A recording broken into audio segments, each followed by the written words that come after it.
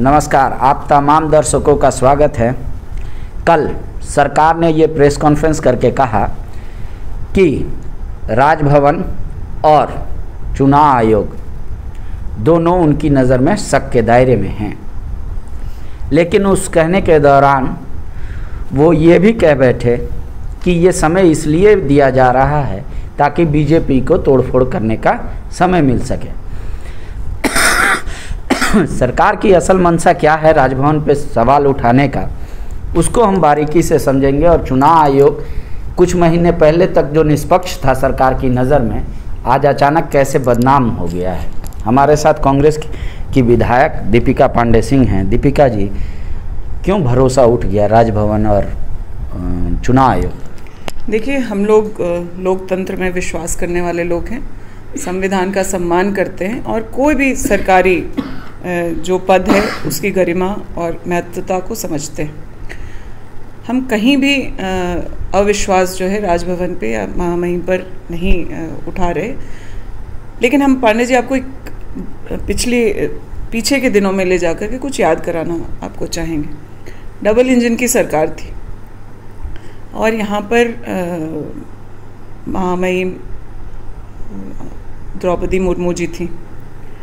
Double engine की सरकार ने यहाँ के मूलवासियों आदिवासियों की जो जन भावना है उसकी अनदेखी करके C N T S P T जैसे आ, मामले पर बिल लाने का काम किया था जिसका सड़क पे भी सब लोग विरोध कर रहे थे सदन में भी पक्ष विपक्ष के सब लोग आ, उसके बहुत पक्ष में नहीं थे फिर भी अहंकार में उस बिल को जो है राजभवन भेजा गया था। तब भी केंद्र में भाजपा की सरकार थी लेकिन राजभवन का काम जो राज्य की जनता को संरक्षण देने का काम है जो सरकार है उसको भी संरक्षण देने का काम है और साथ ही साथ विपक्ष की भावनाएँ उनकी आवाज़ों का भी को भी सुनने का काम राजभवन का होता है। उस समय उस बिल को वापस कर दिया गया राजभवन के द्वारा और सी एन टी एक्ट में जो आ, लोगों की भावना के विपरीत जो बदलाव करके बिल ला करके प्रयास किया जा रहा था कि उस कानून में बदलाव किया जाए उसको रोकने का काम राजभवन ने किया था। तो राजभवन अच्छा की राजभवन की वो ताकत। है और इस वजह से भी झारखंड की जो जनता है वो कितना सम्मान करती है अभी हम लोगों की जो राष्ट्रपति हैं उनका ये आप लोग सबको जान जानी हुई बात है।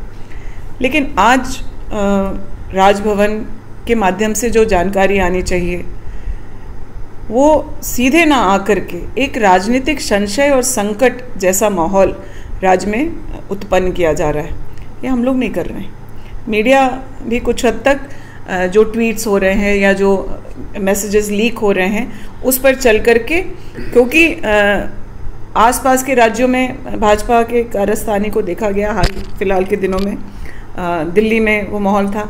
महाराष्ट्र में क्या हुआ? इसलिए मीडिया भी उन ट्वीट्स को आधिकारिक वक्तव्य समझ करके उस पर काम कर रही है।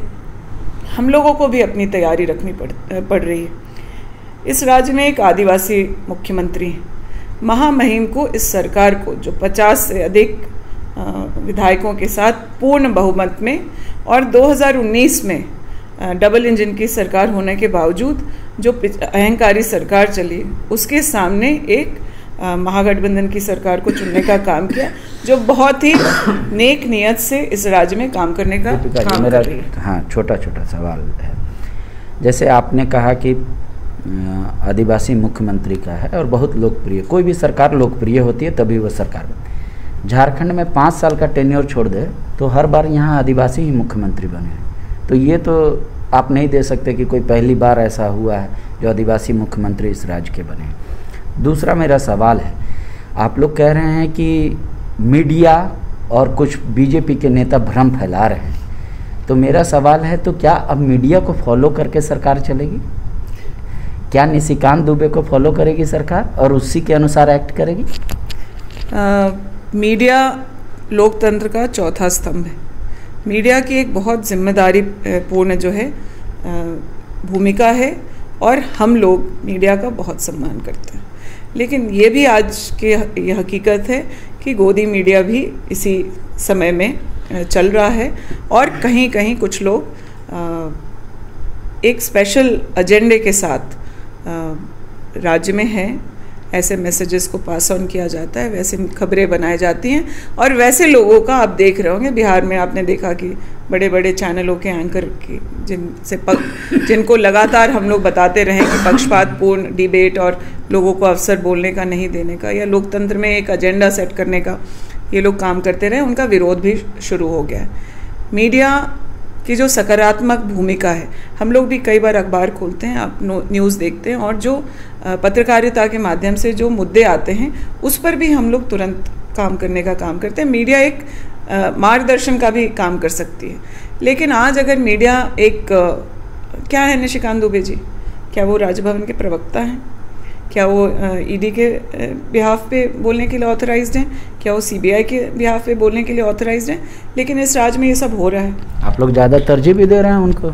नहीं तरजीह देने की क्या बात है? लेकिन अब बाहर अगर आ, आशंका हो कि हमारे घर में चोरी हो सकती है तो ये मेरा अधिकार है कि मैं अपने घर को सुरक्षित करूँ मेरा दर, दरवाज़ा खिड़की सब मज़बूत हो बाहर हमारी सुरक्षा बढ़ाई जाए।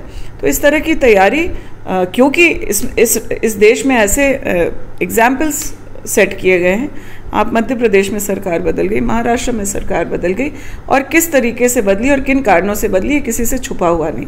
तो ये तो मेरा अधिकार है ये हम लोगों का अधिकार है सरकार का अधिकार है और ये सरकार की रक्षा की बात नहीं मुख्यमंत्री जी ने बहुत साफ़ शब्दों में कहा है कि सत्ता में बने रहने का कोई लोभ लालच नहीं है। लेकिन सत्ता माध्यम है जन सेवा का और हमें इस राज्य की जनता ने बहुमत में आ, सरकार की ज़िम्मेदारी दी है। तो लोकतंत्र इस लोकतंत्र की सुरक्षा करना भी ये हम ही लोगों का दायित्व ये तो मुख्य करके कर रहे हैं। ये तो मुख्यमंत्री का मानना पड़ेगा कि वो दूसरे स्टेट भी ले जाके आप लोगों को एक होटल में रख सकते थे। लेकिन उन्होंने ऐसा नहीं किया। वो कहे हमारे राज्य में खुले रहेंगे विधायक जहाँ जिसको अपने घर में रहे।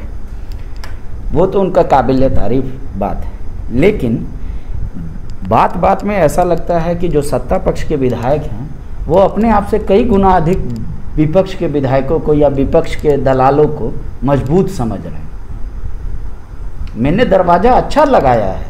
इस बात का कॉन्फिडेंस खो दिया मैं, मैं चोर के इस, इस स्किल पे ज़्यादा विश्वास इस इस राज्य में अगर कोई राजनीतिक संकट या संशय की स्थिति है और जो सरकार आज है पूर्ण बहुमत की सरकार है महागठबंधन की एक बहुत मज़बूत सरकार है उसके बावजूद सवा तीन करोड़ जनता पूरी की पूरी मीडिया और राज्य के सभी जिम्मेदार लोग अगर राजभवन की तरफ़ उम्मीद से देख रहे हैं तो आप बताइए मुझे कि ये किसका काम है?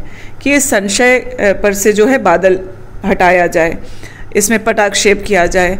जो सरकार जनता का काम कर रही है उसको जनता के हितों का काम कर रही है उसको उस काम को जिसके जिस बात के लिए सरकार बनी है उन कामों को करने दिया जाए। कांग्रेस का भाजपाकरण हो गया है। जैसे बीजेपी कई बार कई मुद्दों में नाली में पानी नहीं है कांग्रेस जिम्मेदार है फल हवा नहीं चल रही है। उसी तरीके का पॉलिटिक्स अब आप लोग भी करने लगे हैं। जनता को भरमा रहे हैं। सारे पॉलिटिकल पार्टी। आप ये मामला चुनाव आयोग से जुड़ा है। लीज खनन का मुद्दा है। इसमें बीजेपी का आप नाम इसलिए ले रहे ताकि आपके समर्थक सोचे कि हाँ सचमुच बीजेपी कर रही है कुछ। बीजेपी करती है आमतौर पे इसका मतलब ये नहीं कि कर रही है। या आप ऐसा बता रहे कि पाँच राज्यों में हुआ इसलिए ये जवाब दे सकते हाँ? आप मुझे बताइए पांडे जी आप तो बड़े जिम्मेदार पत्रकार हैं। आपको क्या लग रहा है ये कौन कर रहा है? क्या गैर भाजपा शासित राज्यों में भ्रष्टाचार नहीं है? बिल्कुल है। क्या वहाँ वहाँ के पदाधिकारी या कुछ नेता गण या और जो लोग हैं व्यवसायी हों व्यापारी हों क्या ऐसे लोग नहीं हैं जो भ्रष्ट हैं? बिल्कुल है। कार्रवाई उन राज्यों में क्यों नहीं हो रही है जहाँ भाजपा का राज्य है? आज बिहार में अचानक से छापे कैसे पड़ने लगे? आज क्यों झारखंड में ये परिस्थिति है? क्यों बंगाल पर दबाव बनाया जा रहा है? क्यों राजस्थान में सांप्रदायिक माहौल बनाने की प्रयास की जा रही है? इसमें कहीं कोई दो मत नहीं है कि इन तमाम बातों के पीछे भाजपा है। आज केंद्र में वो लोग बैठे हैं और मुझे बहुत दुख के साथ कहना पड़ता है कि जिस लोकतंत्र के अलग अलग एजेंसीज को, ताकि लोगों को एक के बाद दूसरे लेवल पे या विश्वास रहे कि अगर मुझे यहाँ न्याय नहीं मिला है तो मुझे अगले दरवाजे पर न्याय मिलेगा। दूसरे दरवाजे पे नहीं मिला तो तीसरा दरवाज़ा हमारा खुला था। लेकिन आज इन सभी संस्थानों को सिस्टमेटिकली ध्वस्त किया जा रहा है, और इस पर अगर जनता का अविश्वास बढ़ रहा है, या नेताओं का अविश्वास, या मीडिया सवाल करने लगी है तो कहीं ना कहीं तो कुछ गलत होगा। तो अब ये कहने का मतलब आप ये करें कि हमारा देश वर्तमान में इस स्थिति में चला गया है कि जहाँ लास्ट सुप्रीम कोर्ट पे भी विश्वास नहीं रहा आप हाई कोर्ट पे भी विश्वास आप पहले ईडी सीबीआई और आईटी की बात करें ना। हम्म। जुडिशरी तो एक और एक और जो बहुत महत्वपूर्ण स्तंभ लोकतंत्र का है वो है। अगर वहाँ भी सब कुछ ठीक रहता तो पाँच पाँच जज आकर के प्रेस कॉन्फ्रेंस नहीं कर रहे होते कि देश में सब कुछ ठीक नहीं चल रहा है। जो मामला बिल्किस बानो का आया, उसमें आपने देखा होगा कि कई सारे पदाधिकारी कह रहे तो मैं सम्मानित कोर्ट पर मैं आज भी मानती हूँ कि देश में संविधान की रक्षा होनी चाहिए, लोकतंत्र बचना चाहिए, कहीं अगर कोई गड़बड़ी हुए तो उसे व्यापक तौर पर सुधार करना चाहिए। लेकिन ये बीजेपी के कार्यकाल में, बीजेपी के राजपाट में ये संभव नहीं है। लगातार लगातार इस देश में लोकतंत्र को ख़त्म करके एक राजा का राजपाट चले या प्रयास हो रहा है। उसके लिए चंद कॉरपोरेट घरानों को कैसे मज़बूत किया जा रहा है और बाकी व्यवस्था को कैसे ध्वस्त किया जा रहा है उसके हम सब आप हम सब गवाह हैं।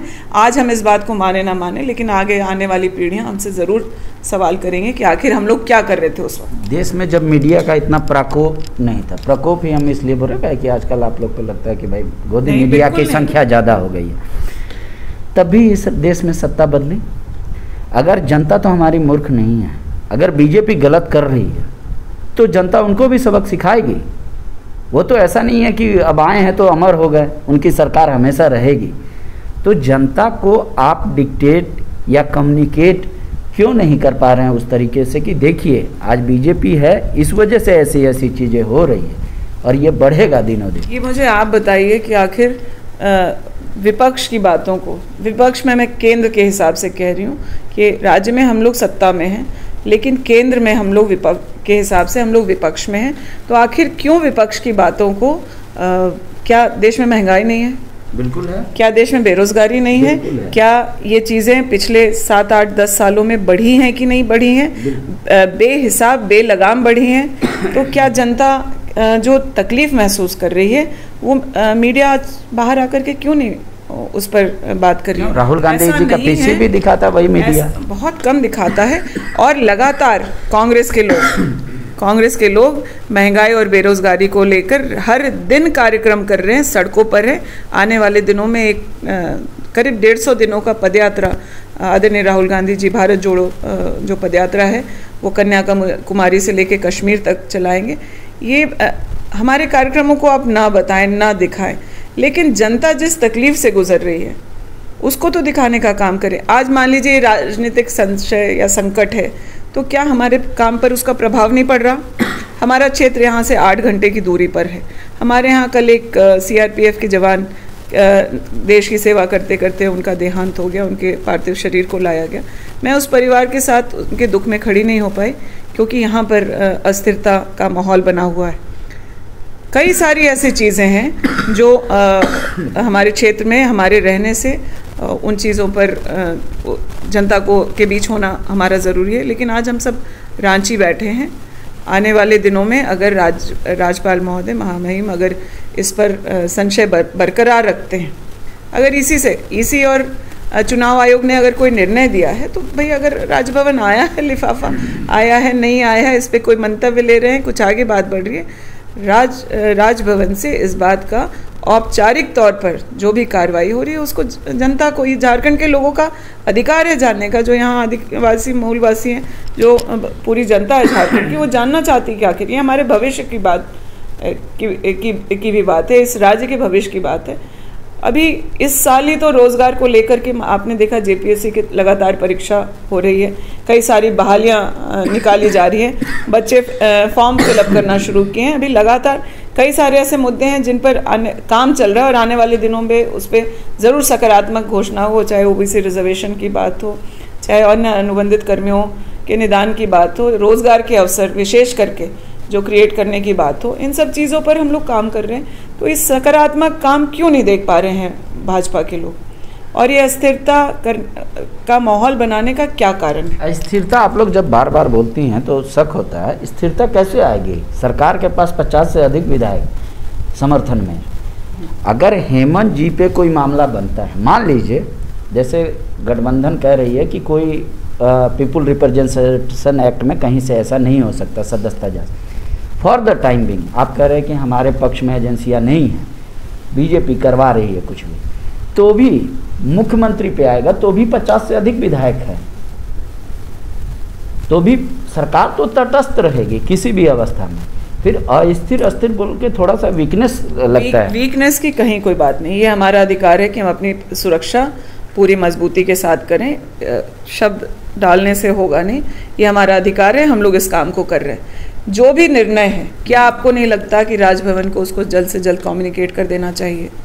ये बेवजह की बयानबाजी बेवजह का आ, एक दूसरे पे अनर्गल आरोप लगाना आरोप प्रत्यारोप सब चल रहा है। ये तो नेताओं का आदत होता है। राजभवन के तरफ़ से तो कोई टिप्पणी नहीं आई है। इसी के तरफ़ से कोई टिप्पणी नहीं आई कि हम अमुक तारीख को लिफाफा खोल देंगे या अमुक तारीख तक फैसला सुना देंगे। ऐसा कभी नहीं कहा गया। देखिए अगर मीडिया पक्षपात पूर्ण हो जाए नेता अपने जिम्मेदारियों को ना समझे जुडिशियरी पर लोग शंका उठाने लगे और जो हमारे जो हमारे लोकतंत्र का बेस है, उसको अगर हम लोग हिलाएँगे, बोलेंगे कि ये आदत है, ये नहीं होना चाहिए। जिम्मेदार नेता भी इस देश में रहे हैं। अब भी ऐसा नहीं है कि नेताओं की संख्या में कमी है। लेकिन कुछ गैर जिम्मेदार लोग सब कुछ पर हावी होकर के, भाजपा के अन्य नेताओं के पास से तो कोई बयान नहीं आ रहा। क्या निशिकांत जी को आदरणीय प्रधानमंत्री जी ने ऑथराइज कर दिया है कि राजभवन से भी कोई मैसेज होगा तो आप ही डालेंगे। भाजपा प्रदेश प्रदेश की तरफ़ से अगर कोई मैसेज देना है तो भी वही देंगे। ईडी की भी की भी जानकारी वही देंगे सीबीआई की भी जानकारी। तो जो गैर जिम्मेदार लोग हैं, उस पर तुरंत लगाम लगाना चाहिए और राजभवन को इसका संज्ञान लेना चाहिए कि आखिर जो काम राजभवन का है, जो सूचनाएँ अगर कुछ है भी अगर ऐसा तो जो राजभवन के माध्यम से आना चाहिए वो ऐसे लोग सड़क चौक चौराहे पे कैसे चर्चा कर रहे हैं? मतलब दीपिका जी कह रही हैं कि एक बीजेपी का नेता पूरा भ्रम फैलाता है और सारा मीडिया भ्रम फैलाती है और सब पीछे पड़ जाता है। मैं मीडिया पर बिल्कुल नहीं कुछ कह रही हूँ। गोदी मीडिया की बात ज़रूर आज इस तो देश में निशिकांत दुबे को फॉलो ही क्यों करते हो? लिखने दीजिए क्या मैं, लिख लेंगे? मैं उनको फॉलो नहीं करती। हाँ। मैं उनको फॉलो कुछ भी लिख रहे हैं। कोई गलत अगर कर रहा है तो उस पर लगाम लगाना भी ज़रूरी है। क्योंकि आज अगर कोई गलत कर रहा है उसके उस पर अगर लगाम नहीं लगा जाए तो बहुत बड़ा नासूर हो सकता है। तो आपके पास ये, एजेंसी ये लगाम ये लगाम लगाने का काम भाजपा के शीर्ष नेताओं का है। और राजभवन की बातों को अगर वो लीक कर रहे हैं या कोई जानकारी यहाँ से वहाँ किस किस हैसियत से वो इस काम को कर रहे हैं उस पर का लगाम लगाना महामहिम का दायित्व है। हम उनसे आग्रह करते हैं कि आप अपनी चुप्पी को तोड़ें और यह जो माहौल इस राज्य में बनाया जा रहा है, आपके संरक्षण में भी जो संरक्षण सरकार को मिलनी चाहिए, उस संरक्षण को हम लोगों को देते हुए इस पूरे मामले का पटाक्षेप करें। अगर मान लीजिए हाइपोथेटिकल क्वेश्चन है। अगले दस दिनों तक। हाइपोथेटिकल क्वेश्चन का क्या हाँ, हाँ, अर्थ ये है कि अगर क्या, दस दिनों तक दस दिनों तक ये लिफाफा नहीं खुला तो दस दिनों तक आप लोग यहीं रहेंगे मीडिया से मैं निवेदन करती हूँ कि कृपया ऐसे हाइपोथेटिकल सिचुएशंस पर डिस्कशन बंद करें। जो ज़मीनी सच्चाई है। अगर हम अच्छा काम कर रहे हैं तो अच्छा बताएँ। कहीं हमारी कमी है तो वो दिखाएँ। इस राज्य में अगर कहीं कोई कमी अगर आपके अच्छे फैसले को सभी अच्छा बता रहे हैं कि आपने पेंशन दिया आपने राशन कार्ड की संख्या बढ़ा दी आपने धोती साड़ी दी ये सभी बता रहे हैं। मेरा सवाल ये है कि पिछले चार दिनों से जैसे टी पार्टी लंच चल रहा है पिकनिक और दस दिनों तक राजभवन और इसी के तरफ़ से कोई फैसला नहीं आया तो भी ये चलता रहे। ये ये सब कुछ अब माननीय राज्यपाल महोदय के हाथ में है कि ये सिचुएशन से हम लोगों को कब उबारते हैं। हम लोगों को भी पिकनिक का कोई शौक नहीं हमें इससे बेहतर काम काज हैं। हमारी राजनीतिक जो जिम्मेदारियाँ उसके अलावा पारिवारिक जिम्मेदारियाँ भी हैं। वीकेंड पर वीकेंड पर आ, कभी कभी तो हम लोग मित्रों के साथ होते हैं लेकिन हर कोई चाहता है कि अपने परिवार के साथ हो बच्चों की छुट्टी होती है, पति घर में होते हैं तो हमारी भी इच्छा होती है कि हम लोग अपने मन से, अपने मन मुताबिक वीकेंड मनाएँ। कभी कभी ऐसा होता है कि हम लोग जो प्रोफेशनल सर्कल में हैं, उनके साथ कुछ समय व्यतीत कर दें। इस, ये हमारा कोई शौक़ नहीं है जो हम आज कर रहे हैं। लेकिन हमें बाध्य किया गया है इस राज्य में भाजपा के द्वारा कि हम लोग जो है, अपने प्रायोरिटीज़ को छोड़ करके रा, इस राज्य के हित में जो काम करने वाले होने वाली चीज़ें उनको छोड़ करके इस लेजर के लेजर को भी हम लोग रांची में पॉसिबल करें। शुक्रिया। वाकई में सारे पॉलिटिकल पार्टी सारे नेता आपस में मिलके कुछ ऐसा कर रहे हैं जिस पे आपका असल मुद्दा पे ध्यान ना जाए। कोई भ्रम फैलाता है कोई उस भ्रम को और बड़ा कर देता है। कोई चुपचाप से ऐसा कुछ कर देता है जो हैरानी में डाल देता है। अपने घर में चोरी होती है, चोर को पकड़ने की जगह खुद को बताते हैं कि हम कल्प्रिट हो गए या फिर दूसरे को बताते हैं कि नहीं, ये तो कमज़ोर थे या अमुख काम से। ऐसे लोकतंत्र आपका और हमारा कमज़ोर हो रहा है। जनता को ज़रूरत है सवाल करने की। अपने नेताओं से हर स्तर पर सवाल कीजिए कि आपने अगर ऐसा स्टेप लिया तो क्यों लिया? और आपने ऐसा सोचा करने को तो क्यों किया? जब तक आप नेताओं से सवाल नहीं करेंगे, इसी तरह सत्ता और विपक्ष, चाहे कोई भी दल हो, आपको अपनी बातों में उलझाती रहेगी और आपका भी एजेंसियों पर से धीरे धीरे विश्वास उठता चला जाएगा। आप कल्पना नहीं कर सकते उस सोसाइटी का, जब सारी एजेंसी शक की निगाह में होंगी तो इंसान किस पे विश्वास करेगा? क्या होप नहीं ख़त्म हो जाएगा इस लोकतंत्र में? शुक्रिया। विवेकानंद विद्या मंदिर स्कूल। एक CBSE affiliated English medium coed school है हम शिक्षा के साथ संस्कार देते हैं The follow up.in. Like, share, and subscribe. www.thefollowup.in